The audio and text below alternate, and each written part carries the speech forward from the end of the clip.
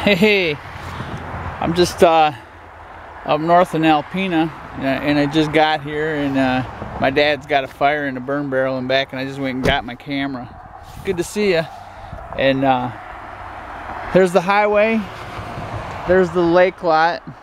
They own the lot out to the lake. The highway in the old days never used to go through here, so they used to be on the lake.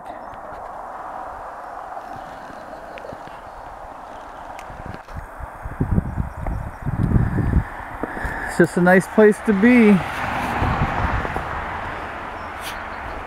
This is this is the farm.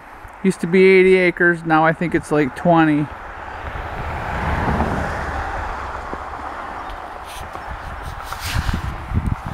And that's that for now. See ya. Bye-bye.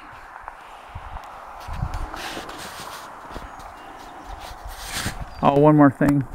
It's the family farm for two gener three generations.